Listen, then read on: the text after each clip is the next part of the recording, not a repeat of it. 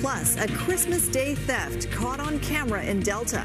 Someone's under our car. And then I ran to the door and said, They're taking parts. What was stolen that's left a Washington state family stuck? Well, it's a holiday a Washington state woman won't soon forget after her catalytic converter was stolen from her car in North Delta on Christmas Day. The crime happened in broad daylight, and as Troy Charles shows us, a security camera was rolling as the thieves cased the cul-de-sac. Now, we all know the Grinch has a penchant for presents and roast beast, but apparently he also has a thing for catalytic converters.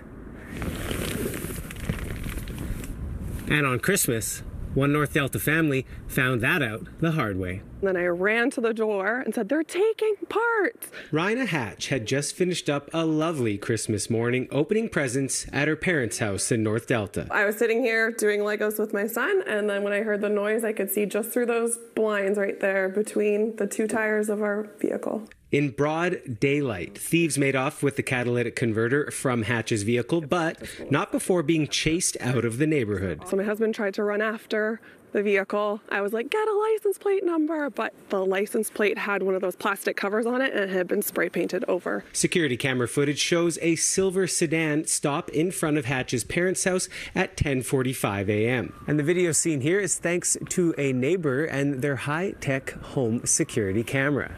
Chris Scholefield's motion tracking camera recorded the crime, and it also revealed something else. I spent a bit of time going through looking at the history and found that the car had actually been around three times. Uh, so, uh, and the last time you could actually hear the, the noise of the, the cutting. Hatch has filed a police report, and Delta PD confirm they are investigating.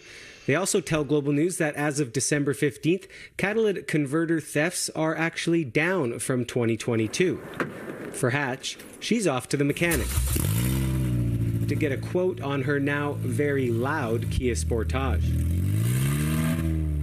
Hopeful that these Grinch's hearts might grow a few sizes. Obviously, it's not something that we can stop, so we just got to deal with it and go forward, but definitely put a damper on the day. Troy Charles, Global News.